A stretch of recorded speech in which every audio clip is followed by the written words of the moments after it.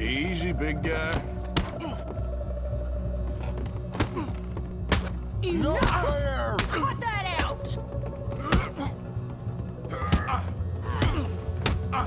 Mean man! Listen to your mother. Not nice!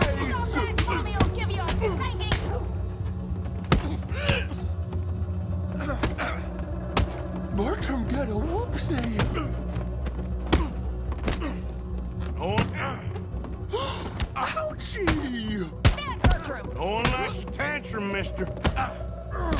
Waste of my time. Come here, Bertram. Oh, yes, Marjorie's here. No one's gonna hurt you ever again. Mama, you should keep that thing in a cage! You should think about who you're serving. Give me a beer, will you? Don't worry, we'll pay for what we broke. Come here, Bertram.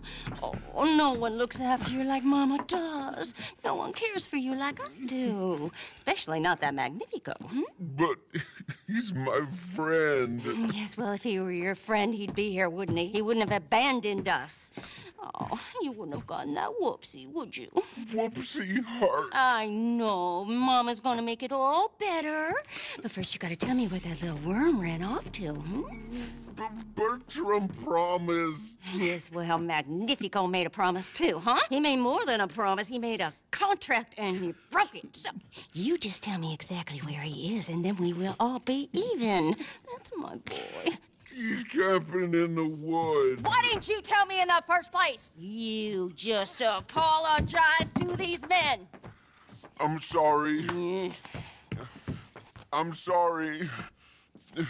You gave me a whoopsie. Hey, you just stay away from that sherry now, you hear? Bertram likes Sherry. Oh, don't you get him started. Thank you for all of your help, Mr. Stranger. If you see that slippery little fella sleeping rough out there, would you just make a little racket and then we'll come along and we'll find you? I could try. Oh, his name is Magnifico. You'll know him when you see him. Come along, Bertram.